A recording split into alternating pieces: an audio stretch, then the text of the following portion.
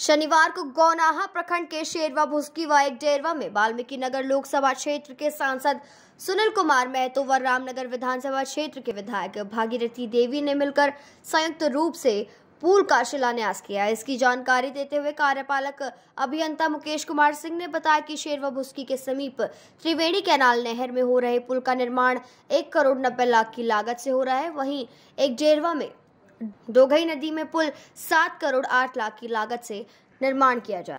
वहीं कनिया अभियंता विजय प्रताप सिंह ने बताया कि दोनों पुल, दोनों पुलों का निर्माण एक साल के अंदर पूरा कर लिया जाएगा। गौनाहा से बिहारी चौधरी की रिपोर्ट।